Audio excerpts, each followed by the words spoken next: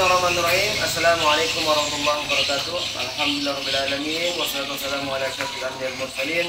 Rabbi shrah li sadri wa yassir li amri 'uqdatam min lisani Alhamdulillah eh, setelah beberapa hari kita libur dari Al-Quran karena masa liburan dan Alhamdulillah sekarang libur telah selesai dan ini kita akan menghaji lagi dan menghafal lagi di rumah Quran Alhamdulillah. Insya Allah kita akan mulai masuk lagi pada malam Senin ya tanggal 7 untuk anak yang malam dan tanggal 8 hari Senin untuk yang anak siang ya ya sama-sama lagi kita ke sini memperbaiki bacaan Quran kita menghafal Quran karena kata Rasulullah khairukum man ta'allama Al-Quran wa 'allamah kata Rasulullah sebaik-baiknya kalian ialah orang yang mengajarkan Al-Quran dan yang mau belajar Quran. Oke, alhamdulillah. Dan untuk eh, anak-anakku semuanya yang ingin bergabung di rumah Quran, insya Allah kita buka pendaftaran juga ya, yang ingin eh, belajar ngaji dan baca Quran dan hafal Quran selanjutnya bisa ke sini daftar di rumah Quran.